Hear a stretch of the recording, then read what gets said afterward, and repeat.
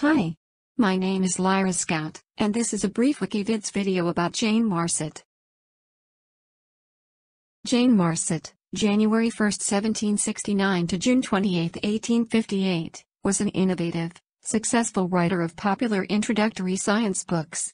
She also broke new ground with Conversations on Political Economy, 1816, which explained the ideas of Adam Smith, Malthus, and David Ricardo. Jane Marcet was born Jane Haldimand in London on January 1, 1769. Following Swiss tradition, she was educated at home with her brothers. Her studies included Latin, essential for the sciences, chemistry, biology, and history, as well as topics more usual for young ladies in England. Jane was married in 1799 to Alexander John Gaspard Marcet, a political exile from Geneva. Switzerland who had graduated from medical school at the University of Edinburgh as a physician in 1797. Alexander was strongly interested in chemistry, and became a lecturer at Guy's Hospital in London and a Fellow of the Royal Society.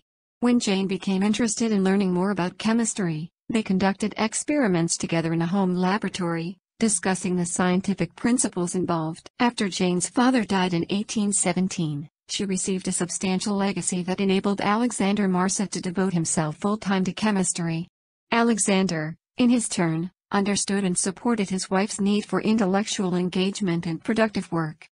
After helping to read the proofs of one of her husband's books, Marcet decided to write her own, and produced expository books on chemistry, botany, religion, and economics under the general title Conversations.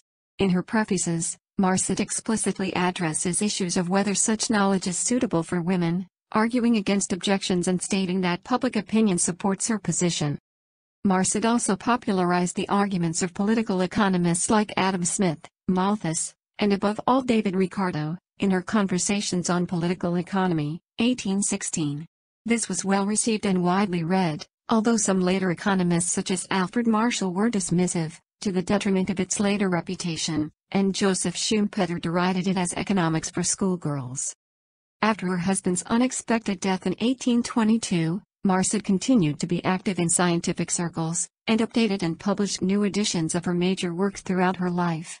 Her last edition of Conversations on Chemistry appeared when she was 84. In later life, Marcet wrote new works mainly for children, perhaps with her grandchildren in mind. Mary's Grammar, 1835, became a classic. Jane Marcet lived for the latter part of her life with a daughter, in Piccadilly, London. She died there on June 28, 1858. Well my friends, I hope you've enjoyed this brief video about Jane Marcet. Until next time, this has been Lyra Scout for WikiVids.